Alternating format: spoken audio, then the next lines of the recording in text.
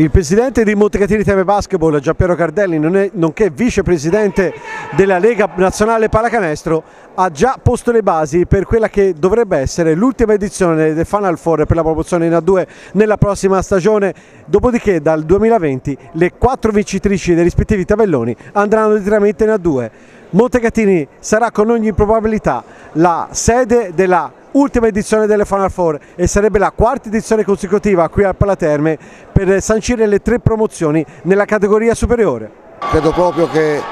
queste Final Four eh, ce le ricorderemo per un pezzo, voi per le squadre partecipanti, è stato un tifo veramente bello, a un certo punto mi sembrava di essere eh, alle partite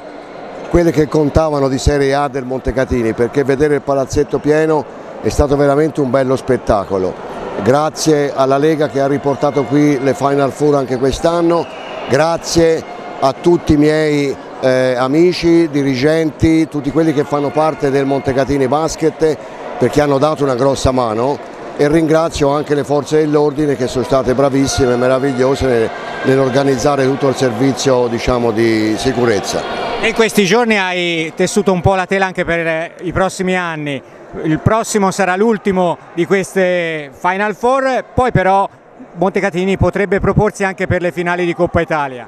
Vabbè, allora ho parlato con i dirigenti, con il consiglio direttivo della Lega,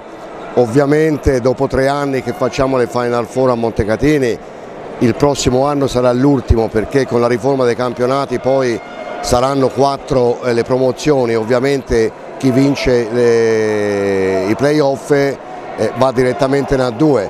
cioè io credo proprio che dopo tre anni a fila che facciamo queste finali eh, sono venute talmente belle, talmente organizzate bene e poi è anche l'esperienza che conta quando facciamo le cose, insomma penso di aver assicurato anche le Final Four del 2019. Per la Coppa Italia vediamo, eh, vediamo più avanti, con calma